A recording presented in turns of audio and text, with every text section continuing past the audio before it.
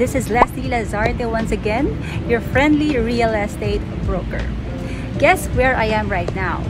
I'm here in one of the biggest and most expansive residential and commercial communities here in Cavite, which is none other than Lancaster New City.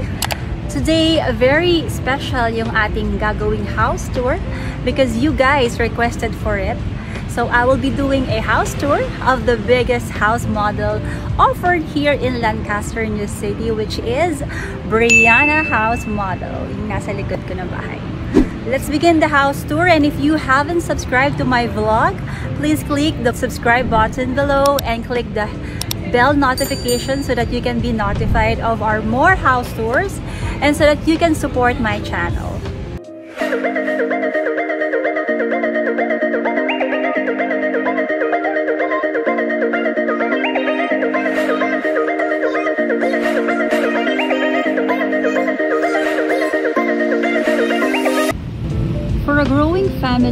Needs more room and space, Brianna model is perfect for you. Brianna is built with four bedrooms and three toilet and baths, and it has a family room which can be converted into a room. Brianna model sits on a 100 square meters lot area, and the house floor area is 110 square meters. So this is the external facade of the house. It is a single attached modern inspired house model. Yung ating 100 square meters lot would be from here. So meron po tayong firewall. So that's your lot property line. And then until the balcony. So hanggang sa likod. So that is your typical 100 square meter lot. Now the house is turned over as complete. So yung nakikita po ninyong finishing for the exterior, that's already the turnover unit. So kasama po yung ating deco stone accents, yung ating painted walls on the exterior, as well as the balcony. So the house has a provision for two carport. So yung nakikita po ninyong uh, carport sa ilalim po ng balcony, that's the place for your carport. And the house can be renovated to have a fence and gate after turnover. Let's go and have a look at the interior of Brianna model. So, ang turnover po natin ng ating lot would be land or soil. Lupa lang po siya. Hindi po kasama yung ating mga bricks and the graba, hindi po yan kasama. So, once again, the property line is from here, from the balcony hanggang doon po sa gilid. And then, sa kabilang side naman, sa ating firewall. And then, you will have a area for a pocket garden. So, pwede po ninyong gawing garden yan or landscape um, mini garden. And this is your two carport. And let's get inside. The main door is made of steel. It's steel main door. Yan. Very beautiful and very spacious. Brianna model has a floor area of 110 square meters for the two-story single attached home. So, since this is a two-story home, the ground floor would have a measurement of 55 square meters. So this is the actual turnover of Brianna model. The house is delivered as complete So, yung ating flooring is 60 by 60 ceramic floor tiles and the windows are sliding finish or sliding door. Powder coated sliding windows.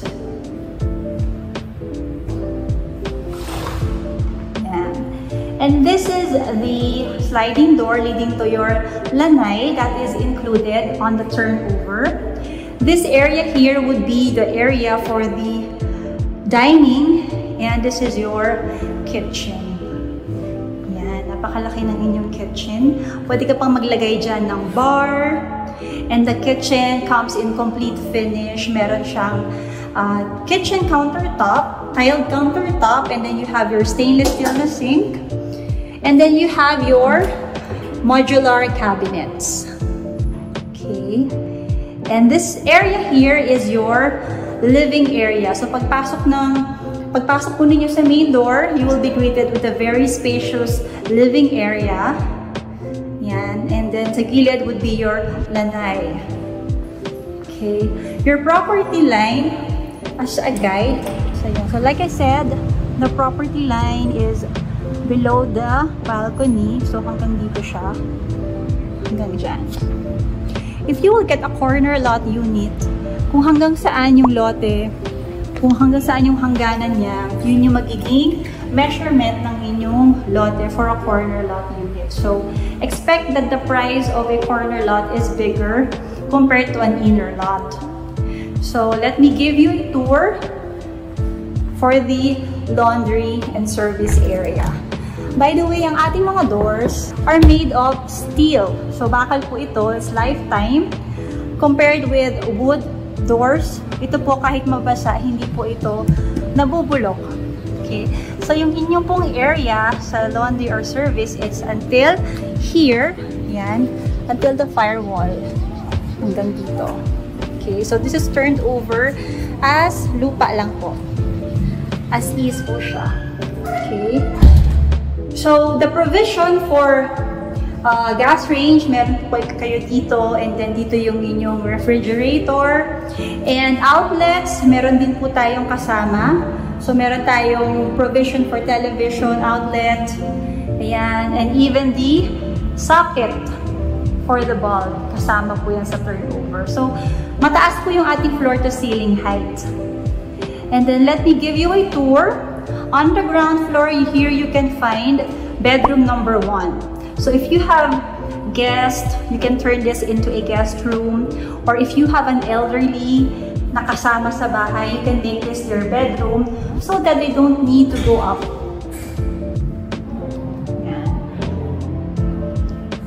So all bedrooms has a provision for outlet. So this is our telephone line and we have a provision for uh, TV line. Yan. So on the ground floor as well, you can find here our common toilet and bath on the ground floor. Yan. So once again, Brianna has four bedrooms and three toilet and bath. So yung ating bedroom number one is on the ground floor as well as the toilet and bath in the ground floor. So the bathroom comes in complete finish. So kasama yung ating mga tiles, Yung ating shower fixtures is included. The toilet bowl and the lavatory is included.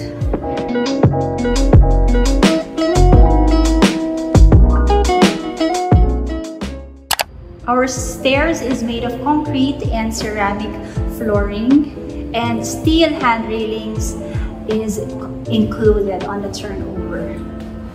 Our walls, by the way, are painted white finish So, ready na po yung ating walls to be painted whatever wall paint that you would like to have your house painted after turnover. So, basic na po yan. And on the second floor, you will be greeted with a very wide hallway. So, meron ka pang landing. Hindi siya kaagad bedroom. So, may area ka pa to put maybe uh, furniture or an accent chair over here. So, yung second floor po natin is delivered as tiled flooring with 60 by 60 centimeter ceramic floor tiles. So we have three bedrooms on the on the second floor. We have your bedroom number two, and this is your master's bedroom. This is your common toilet and bath on the second floor. And this is your bedroom number four with a very nice yan, cathedral window that is floor to ceiling yung height. And you have here the special feature of Brianna, which is the family area leading to your balcony. So, isa-isahin po natin yung mga rooms. So, let me start with bedroom number two.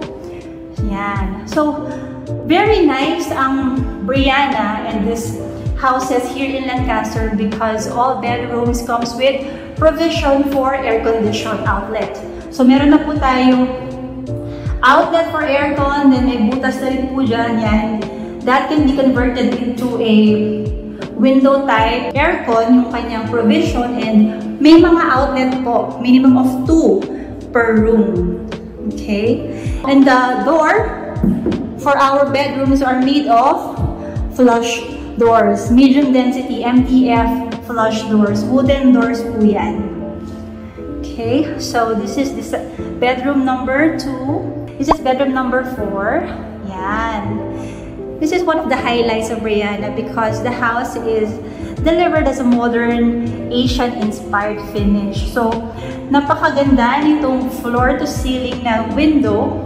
Napaka-elegante tingnan and napakataas ng kanyang height. So, if you have um, a design that is a loft type, this is the perfect area to have a bedroom that is loft type.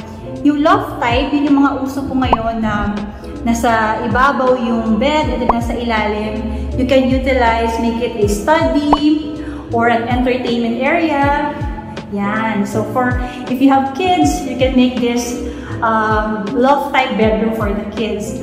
So, like I said, all bedroom comes with provision for air conditioned unit. May mga outlets po tayo kompleto. And by the way, if wala naman kayong gamit or usage for this room, you can make this an extension for the family area kasi katabi siya ng family area leading to the balcony. So on the, the other model house that we have for Brianna, ginawa nila tong entertainment room or parang expansion for the family area. So I'll show you that later. And then here we have the master's bedroom. Yan. Napakalawak at napakaganda po ng master's bedroom for Brianna model. Napakataas yung ating floor to ceiling height. Yan. And the master's bedroom is really called the master's bedroom because of the space. It is it has a very generous space. This area over here can be converted into a built-in closet. Yan. And this, this area would be your bed Kasha po dyan yung king size or queen size na bed. And uh, the bedroom has uh, complete provisions for air condition, for telephone line, for TV lines, and it has its own toilet and bath in the master's bedroom. Yan. So, very private. Meron kang sariling toilet and bath sa master's bedroom. At malaki rin po yung toilet and bath. Hindi lang siya maliit. Plus, it comes in complete finish. So may tiles yung ating toilet and bath. The shower fixtures are included. The sink is included. A toilet bowl. Plus, we have here an outlet for provision for heater. So kung gusto po ninyo palagyan ng heater in the future, yan, nakaabang na po yung ating outlet for that. Alright, so last but not the least is our family area. Yan. So like I said in my opening, this family area can be converted into another bedroom. If you need more space or rooms, this can be converted into another bedroom. But for the typical turnover, this is turned over as open area leading to your balcony. Yan. So napakaganda at napakalawak na ating balcony. Let me tour you around. The balcony comes with tiled finish and steel yung ating railings. Alright? Yan. So, yung ilalim po na ating balcony is our two carport. Yan. Napakaganda. Diba? So, nakikita po ninyo. Modern design yung ating bahay. At na-appreciate ko yung malalaking mga bintana. Yung sliding door, sliding window. It adds to the a good ventilation and good lighting, natural light for the house. And this is the common toilet and bath on the second floor. Yan, complete finish din siya.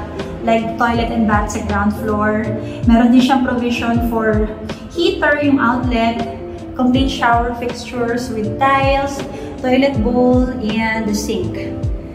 Yan. So, kasama din po yung ating PVC door.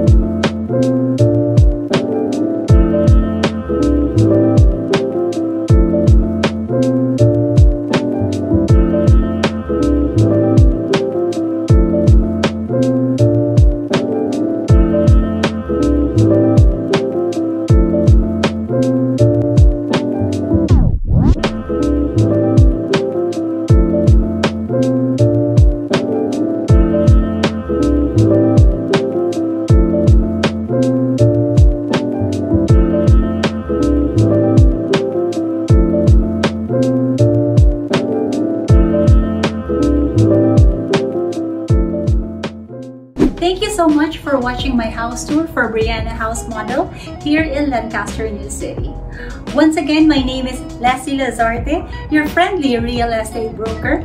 If you have any questions or if you would like to schedule an exclusive house tour here in Lancaster, please contact me through my contact details posted below or you may message me through Messenger, Viber, or WhatsApp. Thank you guys and have a great day.